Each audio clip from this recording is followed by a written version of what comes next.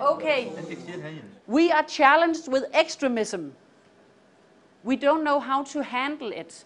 In the moment, if there's an act of extremism happening, what can you concretely do? How we can increase the resilience in our societies, how we can build something that challenge and that, that uh, respond to the risk and threat of extremism in our societies, because we want to, to present, to offer something proactive and not reactive.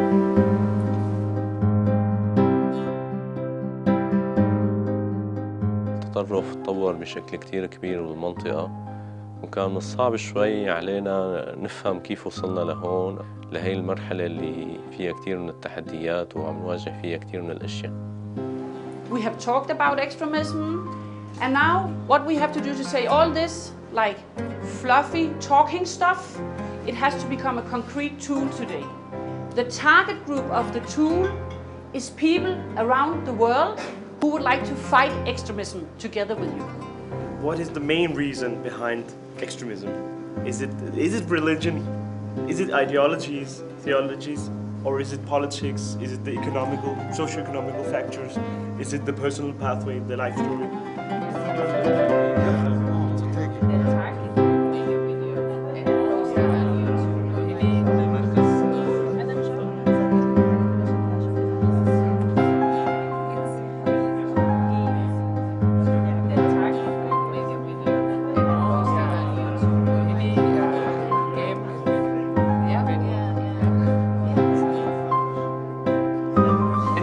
We are looking at solutions.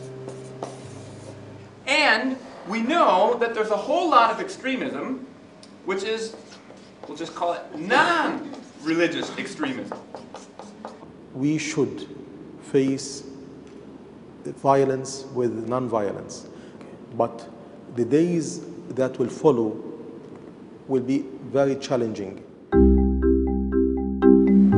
You are uh, fully uh, convinced that yes, we want to do something. We have enough resources in education or in politics or in media or in religion to create something collectively together on this. We also need perhaps a mayor or political leader to open that. We need these key figures, and that's what we can do here. If we look at the faces, we can have a mapping. ال اي يو ساعد كتير في تكوين مفاهيم معينه عندي ساعدني ان انا حتى افكر في حلول في حاجه انوفيتيف في حاجه مور انتليجنت لأن أنت الناحية التانية أنت عندك جهات متطرفة جهات راديكالية بيعرفوا إزاي يجذبوا ال- الشباب بشكل معين. فأنت لازم تو بي مور انتليجنت عشان تقدر آه، تتعامل أو تواجه الاكستريميزم Where, where do we have to put it? I teach at the University of Copenhagen, and most of the time, teaching can be very abstract, very academic, and coming here, being very concrete, has helped me to put stories and faces and examples to my teaching back home. So for me, the most important thing to come out of the LIU program has been the, uh, the relationships, the network. I think that's where the true strength of this is. The aim of the tool is to make the youth evaluate the ideas, movement, ideologies uh, that they meet in universities or with groups. And we want this tool to help them evaluate if these ideas are sound. And we also want to make the leaders of religion aware of their influence on the youth. So how are they working with them? we have such a vast experience and group of people that could be uh, something to, uh, to build and expand. We need to retool journalism for the challenge uh, or the coverage of uh, extremism. And the aim is um, to make sure that there's a capacity building through education and network for the journalists to cover this area. Our purpose is to create a platform or a safe space where marginalized people can interact and have a personal meeting with each other and with decision makers.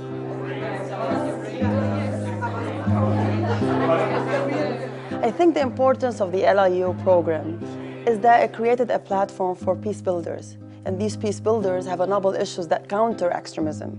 We strive for diversity, for tolerance, for accepting of the other. We had the knowledge, and then we succeeded to empower the skills, and now it's time for attitudes and take real actions in life. The LIU program has succeeded when other failed because he initiated to, to bring catalyst for changes.